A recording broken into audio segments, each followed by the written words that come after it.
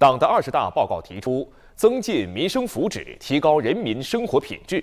十年来，广州教育、医疗、养老等方面不断取得新进展，民生福祉达到新水平。今天，让我们一起走进市民的幸福生活，让人民生活幸福是国之大者。幼有所育是福，学有所教是福。十年来，广州不断扩大优质学位资源供给，让更多孩子在家门口有学上、上好学。直信中学天河校区，学校秉持区域基础教育优质均衡发展的理念，带来一流的教学场地、一流的师资队伍。十年来，广州基础教育学段学校新增六百七十所，全市公办义务教育标准化学校覆盖率达百分之百。十年写就的答卷，打造出市民心中的幸福标杆。办好人民满意的教育，让每一个孩子都享有公平而有质量的教育。我们关注每一个孩子的成长，未来我们将继续为孩子们提供更优质、更多样的教学，促进他们茁壮成长，成为祖国的栋梁。教育是民生之基，医疗则是民生之需。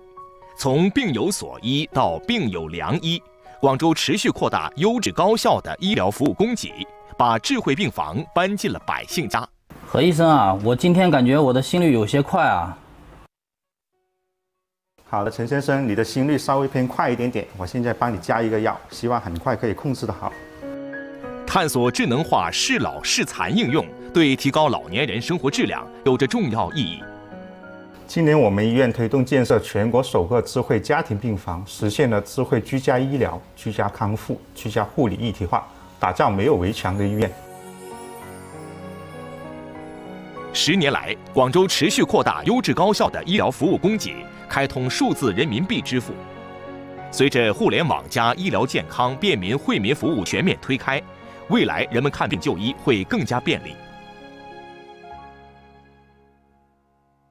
党的二十大报告提出，推动实现全体老年人享有基本养老服务。